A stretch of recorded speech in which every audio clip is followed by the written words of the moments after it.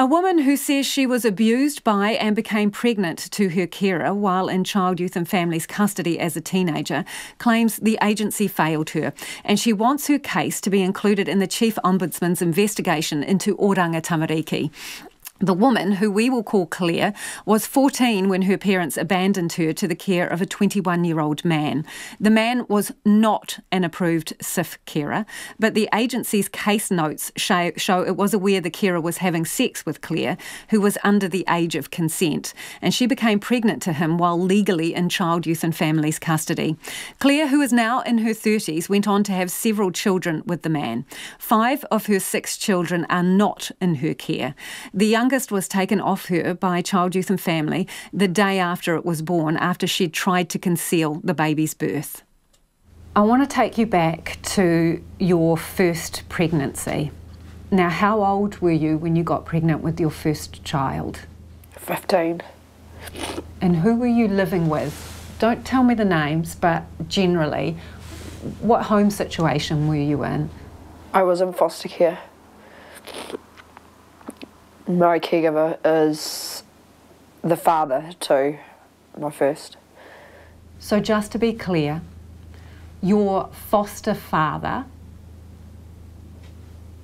is the father of your firstborn child? Yes. Small things started happening from when I first went into his care, and then gradually he started going up from there. And because I was dealing with not just him doing the sexual stuff, I was dealing with physical abuse, mental abo- uh, abuse, and emotional abuse from him. So it's sort of just um, how you'd put it is grooming. So he was grooming. So at 14, did you know, did you have a sense that what he was doing to you was wrong? I knew it was wrong because I'd already been through it twice in my life before I'd even gone into foster care.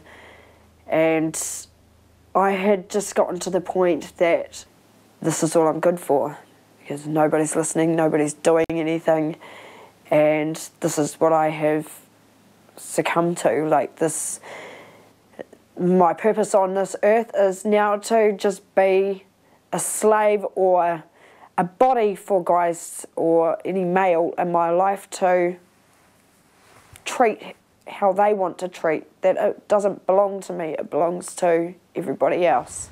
So, did you tell people? Did you tell your social worker? Who did you tell? I was constantly telling my family, my social workers, my mental health service worker for children they can't even acknowledge it. They'd rather pass it off as something else. When you say pass it off as something else, what do you mean? Like pass it off as it being me.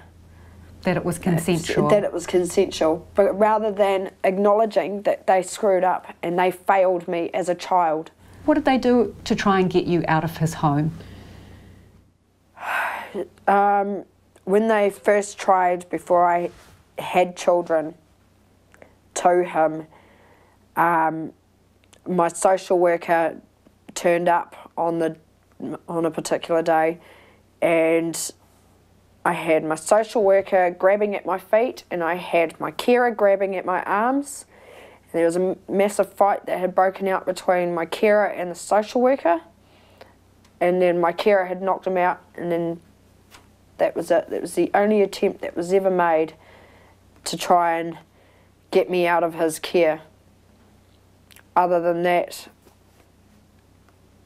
as long as I was still in the grasp of my carer, had, there was no way that they were able to do anything more. Like I don't know. Like, do you think they tried hard enough to get you out of that house? No. No. He used a weapon on you once. You said. Tell me what happened.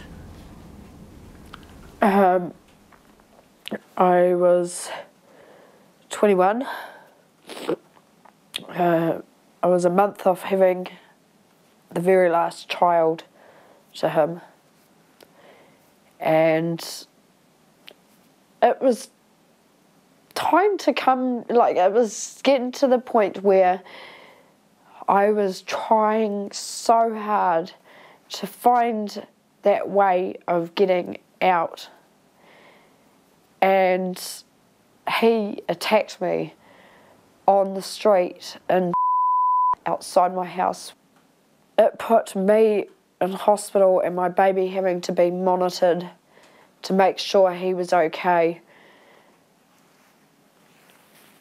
And the cops coming in and taking photos of my body because of him and the abuse, which he denied in court and only got community service for. Tell me what it's like when Child, Youth and Family, Oranga Tamariki, comes and takes your children away. This is the worst feeling any mother should have to go through. Oh my god, this is the worst.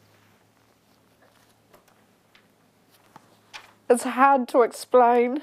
I think I would prefer, and I don't mean this in the worst or bad way or anything, but I think I would have preferred to have lost my children to death than to lose them to a government agency who is only out to destroy and to really pull you down.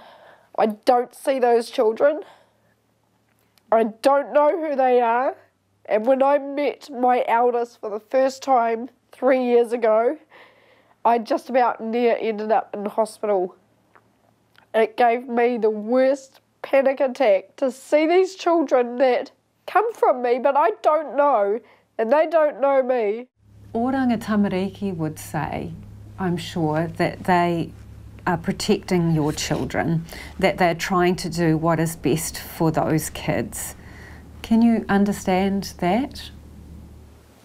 No. What should they do to help those children then if it's not take them away from you? Support the mother better. Instead of taking them off her because of the life situation she's in because of them, support her. Don't don't say, oh, she can't do it because she's in a violent relationship. That violent relationship you had uh, that she was in was created by them. Do you accept, accept that you have made some mistakes? I accept that I should have done more. I did make a mistake of um, hiding to have my daughter, but they had already sowed the seed for that to happen. When you say hiding, you mean when you were pregnant, you knew that they would take this child as soon as it was born? They had a warrant to uplift my baby at birth, yes. And when they told me that um, before I had even had her, that they weren't going to uplift, I had already knew that they were going to. That was just them trying to make sure that I had baby in the hospital. That was your sixth child? That was number six, yes. Again, some people will wonder why you kept having babies when they kept being taken away from you. Um, I had tried the rods in my arms and they failed. I was on contraception when I fell pregnant with um, number three, but that failed I think it might have been because of all the alcohol I was drinking to try and um, not be in the world of living this horrible life I was living at the time with my caregiver. The system, like the, the DHB health system, they weren't prepared to do my tubes while because of the age. You had to be a certain age. When your children your first children were taken away from you, you you started drinking. How how bad was that for you? Were you in a really really low place at that point? I, I was in the worst place I could ever possibly be in. I've never found myself in that place since. I've never felt like I can't like, pick up an alcoholic drink and get completely plastered. Like I can drink till I'm happy, but I can't drink like I did back then.